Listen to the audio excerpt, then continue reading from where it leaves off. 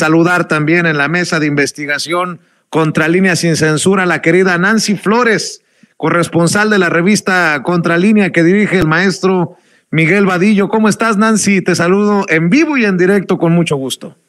Buenas noches, Vicente. Buenas noches a la audiencia. Pues así es, aquí andamos en vivo para hablar pues de temas eh, quizá no tan espinosos como los que estaban en la mesa anterior. No, no, no, espérate, espérate. Ahorita le entramos a hablar de dos bocas. Déjame preguntarte, ¿qué piensas de todos estos personajes?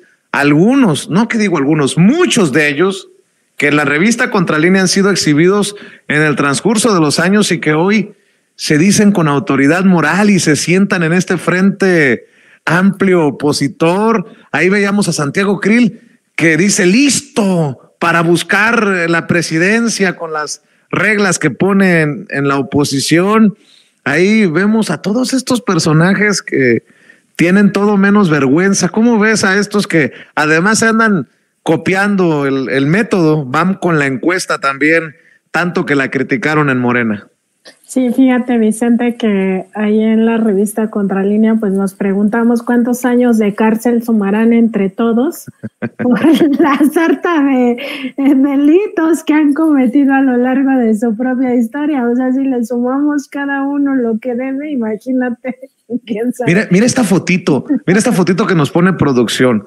Está un cabeza de vaca, está Gustavo de Hoyos, está Santiago Krill, está Xochil Gálvez y a veces me falla hasta, hasta la vista. Está, me, digo, Narco, ¿qué digo? Marco Cortés, está Julen Rementería, Lili Telles, Vicente Fox, Juan Carlos Romero Hicks, Gabriel Cuadri, Vargas del Estado de México.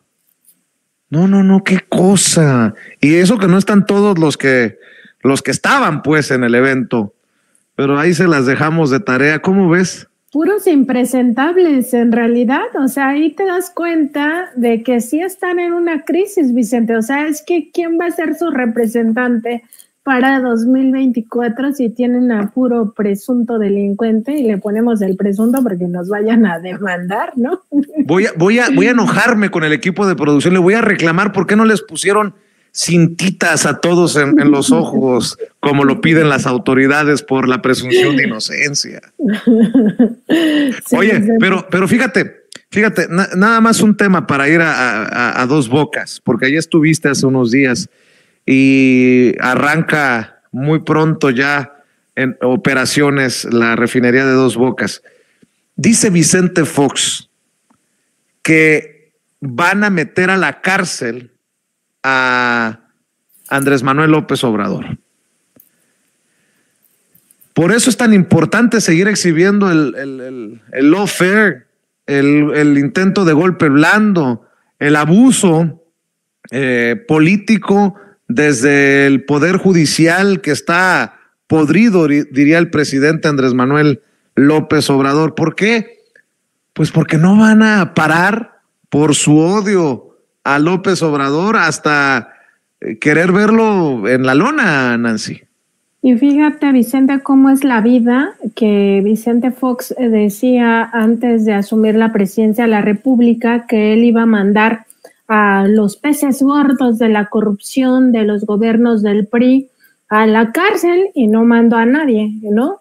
Eh, al contrario, se descubrió pues todo su cochinero de los amigos de Fox, Luego se descubrió su cochinero en las cabañas, eh, estas que remodeló, Contralínea publicó de eso, desaparecieron su expediente en el sexenio pasado de la Secretaría de la Función Pública, también lo publicamos, y en este cochinero, pues no hay que olvidarlo, Vicente Fox, escudado de la supuesta seguridad nacional a la hora de mandar remodelar, pues solamente contra todos sus amigos, así era como entendía el gobierno, en aquel sexenio pues se cometieron diversos atracos, entre ellos uno muy importante eh, el de la plataforma Enciclomedia, que fue una tomada de pelo, donde decía que iba a llevar, perdón, la tecnología a eh, los eh, pueblos, ¿no? Y entonces llegaban con computadoras inservibles o con algunas tabletas que sí servían a los pueblos más alejados, pero resulta que ahí no había ni siquiera electricidad, ni siquiera luz eléctrica para conectar estos eh, aparatos, ¿no? O no había internet o no había señal satelital, en fin, un atraco a la nación.